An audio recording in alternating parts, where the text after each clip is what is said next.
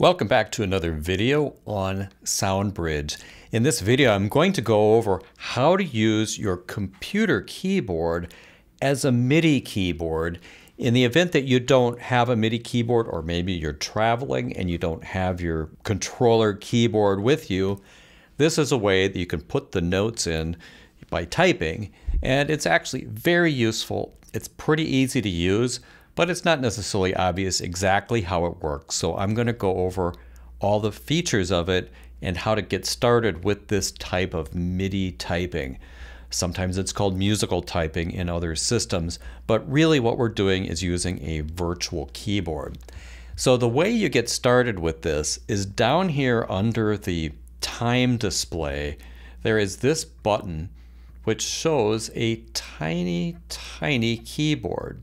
And then when you turn that on, it activates the keyboard on your computer to play in the MIDI notes. It can also be activated by this character, which is like a backwards apostrophe.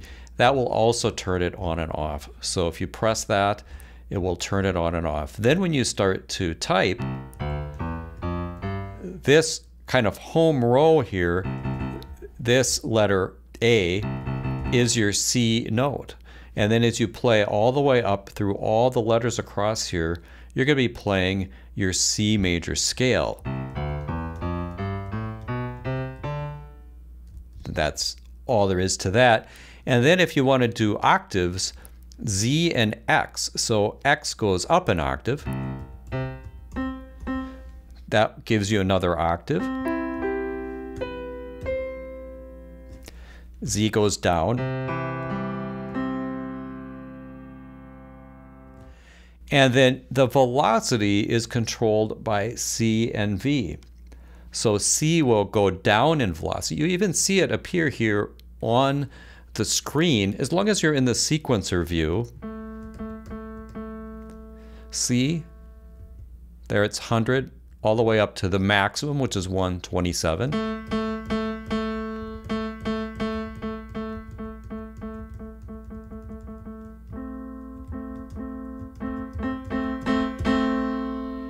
And it, using a combination of those, you could be fairly expressive.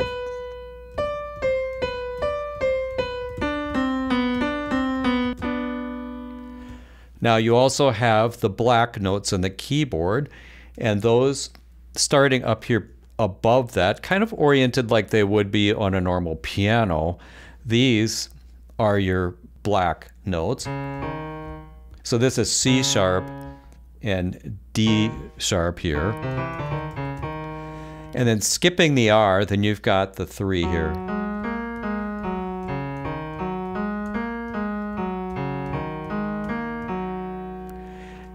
And then up here, got one more of the black notes. So it's laid out in a pretty understandable way.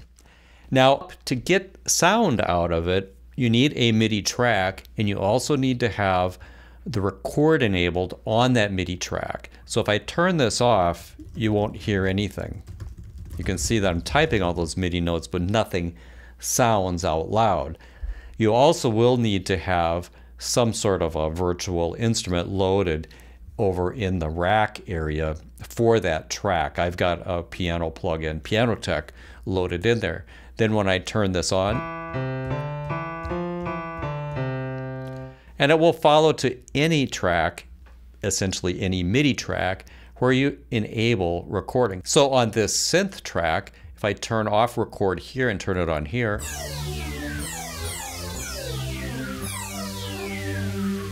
on the synth track, I've got Serum loaded. And you can now go right into recording with this. Let me go back to the piano track. If we click here to start recording, we can then put in the MIDI notes.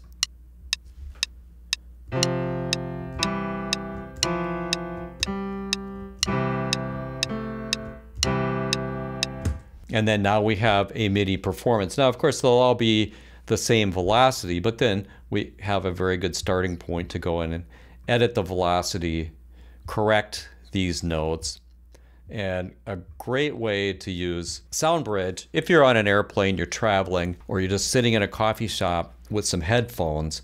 This gives you a great way to keep making music. Now, one other interesting trick is that if you enable multiple tracks at the same time for recording, you can record or play back those instruments layered like this.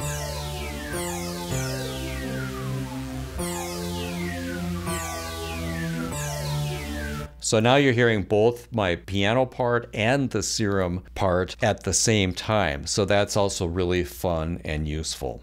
I hope you enjoyed this video. If you'd like to see content like this about digital audio workstations, about SoundBridge, and cool recording techniques, be sure to subscribe to the channel, and I will see you in another video very soon.